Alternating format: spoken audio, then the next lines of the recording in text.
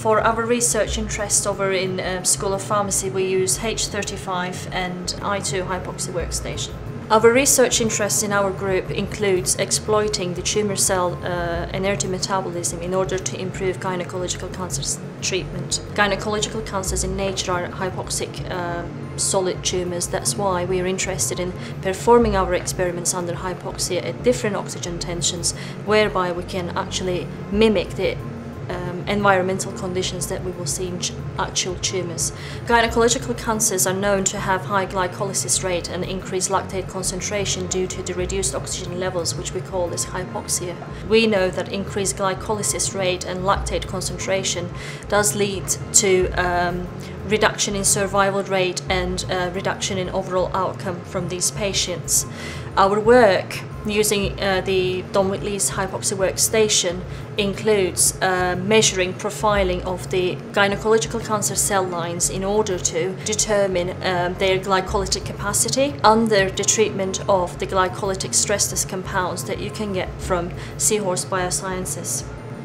By using these compounds in combination uh, with our cell lines, we have been able to actually identify possible glycolytic inhibitors which would improve the treatment outcome in these patients.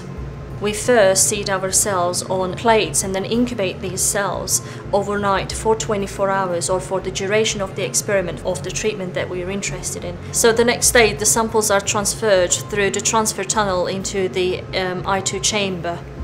This chamber does provide us the environment that we need to do our analysis by using the Seahorse XF analyzer.